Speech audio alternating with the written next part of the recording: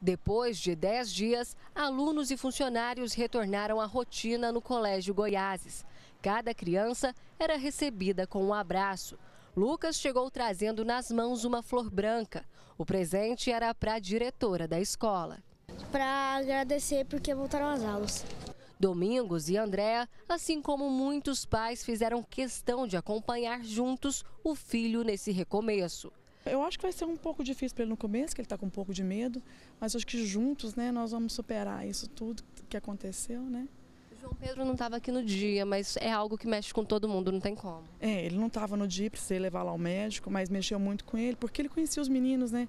Ele conhecia a Isadora, conhecia o João Vitor, então assim, foi um choque para eles. Osiel conta que os sentimentos do filho ainda estão confusos, uma mistura de medo e ansiedade, mas que tem conversado bastante para que ele volte a se sentir bem.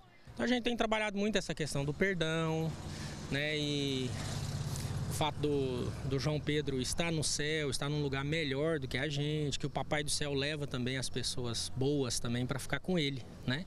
Logo depois da tragédia, um grupo de 60 psicólogos se colocou à disposição para ajudar de forma voluntária pais, alunos, funcionários e qualquer pessoa da comunidade que tenha se sentido afetada. Durante a semana, 25 desses profissionais vão acompanhar de perto, de dentro das salas de aula, as crianças e adolescentes. O mais importante nesse momento é ver como é que cada família está vivenciando essa dor, como é que cada criança está significando esse momento na vida dela e a partir daí nós vamos utilizar os nossos psicólogos, os psicólogos se dispuseram a estar aqui é, para acolher a demanda individual. A escola tem cerca de 400 estudantes. Nesta segunda-feira, apenas alunos de 2 a 10 anos de idade voltaram às aulas.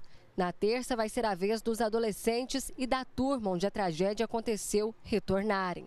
Atividades como músicas, historinhas, histórias em que aí a gente tem os personagens bons e ruins para a gente ver como que as crianças estão lidando com isso, como que elas estão se vendo nessa história e a gente ficar com um olhar muito atento. Um psicólogo em cada sala de aula durante toda essa semana para que a gente fique atento a essa demanda.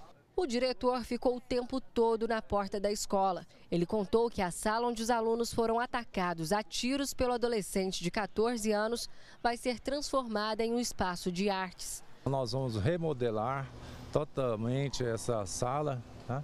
e vai ser uma área então para lazer, descontração e criação de todo esse movimento é, lúdico aí, de trabalho com esses alunos.